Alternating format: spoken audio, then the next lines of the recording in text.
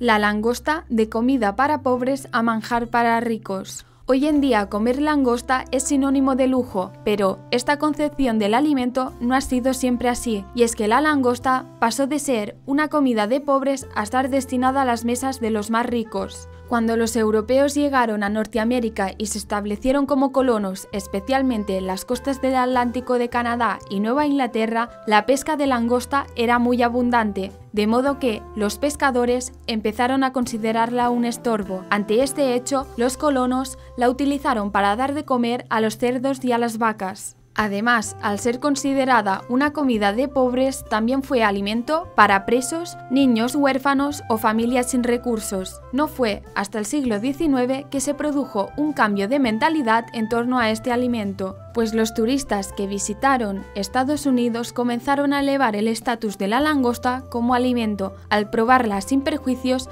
les parecía un alimento exquisito y por ello los restaurantes comenzaron a servirla. Después, con la llegada de la refrigeración, fue posible enviarla a países de Europa.